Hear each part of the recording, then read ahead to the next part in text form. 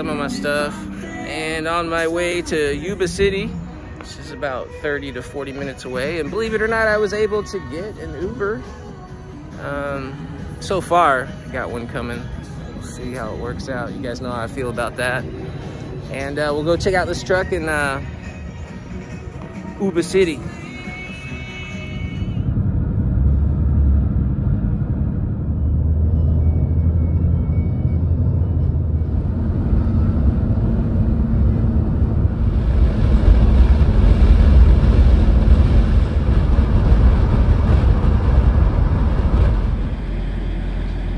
This is it. This is uh, R65.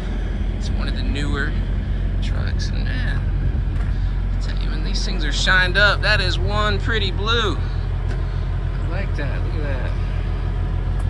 Some good rubber on it. No bugs.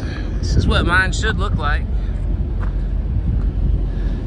But there is a problem, my friends. Um, sad to report that the inside does not match the outside. Though it looks good out here, it's pretty good.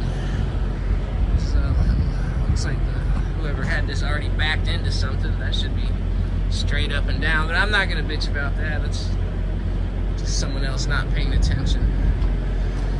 But the inside does not reflect the outside. This is all someone else's stuff, so the inside was not cleaned at all. And it's pretty bad in here. It's got the new LED screens, but yeah, big whoop-de-doo. But look, there's just trash everywhere. And there is a strange smell coming and just the surfaces are all dirty. Floor's dirty. Uh, the driver area, just everything has got a layer of gunk on it. You know, you can probably see it. Um, I have cleaned so many trucks before. I'm, I'm just not into cleaning all this up again. And this is not a marsupial pouch. The smells in here. There is a strange smell. And, um, cut on the air conditioning here. Where to put the key? You know, it, it, looks like my other truck, but it's just not, you know? The inside's really dirty. Let's get some AC going. And, um, the smell, there's just the strangest smell. I'm, and I'm not trying to be rude or, or, or anything. I'm just, I can tell because the curtains were all closed and there's something rotten in the fridge, which I'm not even going to touch. I mean, somebody goes on vacation, they leave food in the fridge. I mean, it's just what you expect. But this is like what the LED stuff does. So it's maintenance do.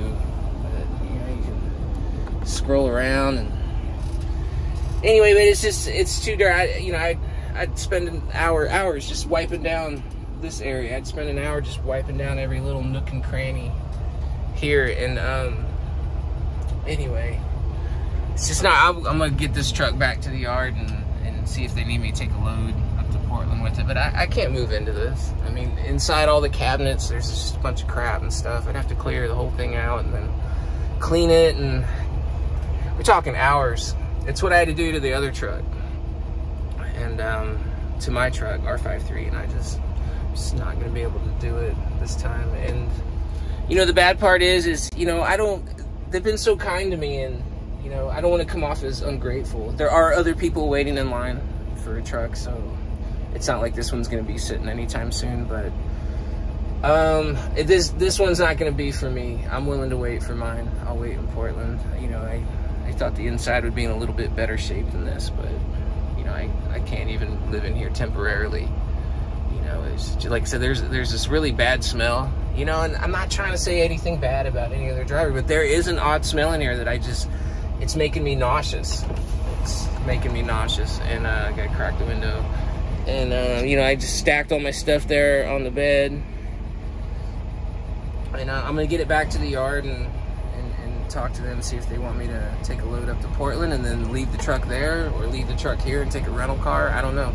I'll drive it up to Portland because, you know, I need a ride up there. But, you know, if, if moving a one load up there and, and someone recovering the truck because maybe there's a driver up there that needs it, if that will benefit everybody, I'm, I'm willing to go that far with it. But as far as living in here for a few weeks or even a week, I, I just cannot. I just, I can't do it. I don't know what that says about me. But, you know, hopefully not too much. Uh, those are my thoughts right now. Whew. Anyway, got some coffee and a little bite to eat. Somebody taught me this word recently, halt. Halt, like stop. And halt stands for, are you hungry? Are you angry? Are you lonely? Or are you tired? And it's the best thing I've heard in a long time. And um, so that's what I'm doing, I'm halting. and I went and got some food and some coffee. And uh, that always makes me feel a lot better. But um, upon reflection, I still feel the same way. I can't live in this truck, and I'm not interested in wiping it down. This truck is only about three months old, and it's just amazing to me how people can abuse stuff and trash it so quickly. It's sad to me. Um, I looked around a little bit more, and it's like every little nook and cranny has some some grime on it. And, ain't for this guy. So I'm gonna head on back to the shop and like I said, I'm gonna come off as uh, it's gonna I'm gonna appear as as ungrateful the situation, but um, I'm just gonna be honest with the truth and uh, you know I've, I've, got a bad history with uh, having to clean up after other people and I'm just not doing it anymore. I'm 47 years old and I'm not cleaning up after anyone anymore. Fucking period you know, and I don't mean any disrespect to anybody. I'm just not doing it. I clean up after myself and my loved ones, and that's it. Anyone else go fuck themselves. That's how I really feel about it. I'm, I'm not a paid janitor. If I was, and that, that'd be one thing, but I'm not. And, um, it's just not. Like I can tell this guy, he don't even use his radio. It's kind of a scary thought. Anyway, yeah, almost brand new truck, and the inside is just trashed sad to me. All right, my friends, heading back to uh, Woodland. See what happens.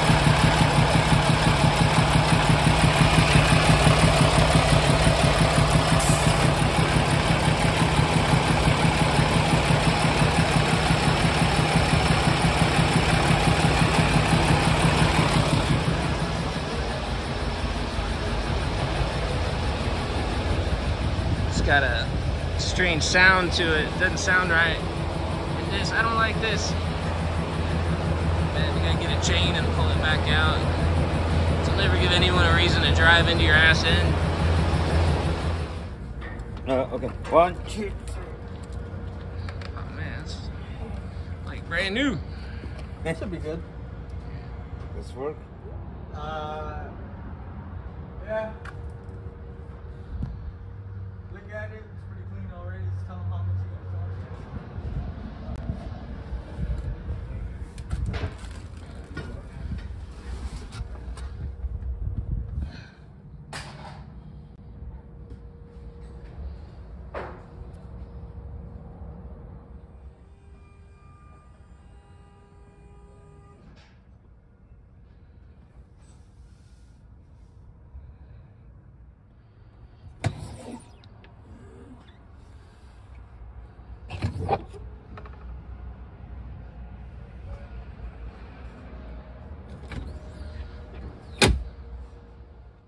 All right, this is my current condensed pile. And so looking at it, you know, half of this stuff is redundant. It's extra paper towels, toilet paper, baby wipes, some food and stuff, some pillows. You see that and bedding. So honestly, a solid third, probably a half of this. I mean, this is just extra garbage bags.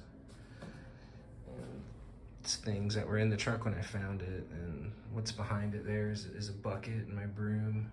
And so, so like half of this, honestly, I, I could just ditch, but then I'd have to re, rebuy it. I mean, I can't really leave it here at the shop. Someone's gonna be using this office, so it's really nowhere to put it. so I may have to let some stuff go if I catch a ride back with another driver. But um, yeah, looking at it, um, I feel a little bit better about things because I could literally, there's a dumpster out there, or I could recycle this into the office, reinvest it, put the paper towels over there where the paper towel stock is and all that stuff. But yeah, about half of this stuff I can walk away from. No problem. So it's really not as bad as it looks. But I would like to keep it all if I could. Anyway, um, brought the tractor back over here, dropped it off, cleared out my stuff, and um, you know, we had a little conversation about it. They understand, and uh, they were expecting the inside to be detailed as well as the outside, and so they don't feel like they got what they paid for out of that. And I agree. And there's no one else available to detail the inside, so kind of had to stop. Um, took it over their shop and had them, you know, do some of the maintenance issues on it, um, or at least put it put it in there so it could be worked on. And uh, let's see, rental cars. So it's about $600 on average to go from the Sacramento airport to the Portland airport in a rental car. That doesn't include the gas. So 600 plus, and it's about $100 in gas each way. So we're looking at a $700 trip in a rental car. And that's about three times higher than it normally would cost. But there's a national shortage of rental cars available all across the country. So that's what's driven the prices up. It's complete bullshit. Um, so yeah, so waiting on hopefully a driver that's gonna come up here and pick up a trailer and um, head north with it towards Portland. Um, you know, it just happens to be on a day there's not a lot of loads going north to Portland, so there hasn't been a lot of drivers in and out of the yard here. But there will be eventually, either later today, tonight, tomorrow, at some point, and that's probably how I'll get back. Uh, maybe. All right, the 5 p.m. update. Back in the stinky truck. All right, I got all my stuff back there. All of it this time. It was looking like I was basically stranded down there. Couldn't get a ride back up to Portland. Uh, with any drivers coming in today, maybe later tonight, there is one uh, coming in that would be leaving tomorrow morning to go to Portland, and I was going to ride with him. And I was also looking at maybe some ride shares from Craigslist and a train ticket, believe it or not, which was actually pretty affordable. Still sounded like a good idea. But it turned out that uh, this tractor that I recovered for them and brought back and have decided to not drive uh, needs to go into the shop. Yes, it's due for a full service. It's due for a tune-up. It's due for service, a couple other things. So it needs to go into the shop. And it can't go into the Sacramento shop because, of course, it'll be a month, right? And uh, so we're to put it in the shop closer to Portland. So they found a load that's basically going in that area. I'll take it up there and drop the trailer kind of close to there. Then I'll drop the tractor off at Freightliner, and hopefully one of my friends will come pick me up. So that's how I'm getting back to Portland. What a day. And uh, so getting a late start. I don't know how long I'll drive tonight. Um, you know, obviously I feel pretty rested, so I'll go a little bit longer than normal into the night. But um, yeah, I'll be there sometime tomorrow, tomorrow morning, and uh, I'll at least I'll I'll be up in Portland area. All my stuff will be with me, and uh, so if anything, you know, I'm grateful for how, at least so far, for how the situation worked out. At least I'll be getting up there with all of my stuff. I didn't have to get rid of anything. Uh, yeah, what a fiasco. What an ordeal. What a caper. And, and now that I'm driving this truck down the road, um, yeah, i feel more solid about my decision uh, to not be interested in driving this truck. It's just, I know they look the same, but this is just, really different my truck. And it could be that smell You know, I've got the windows up right now for the video, but there there is a smell in here that I just, you know, I think it would have to sit somewhere with the windows down for days. I don't know how long it would take to get the smell out, and I don't know exactly what it is. I'm not saying it's like a bad smell, like a body odor smell. Don't know what it is. I just know it's nauseating. Alright, and that's all I can tell you. So anyway, that's it, man.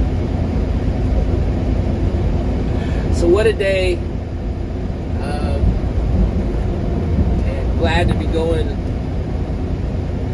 back to I guess what I call home.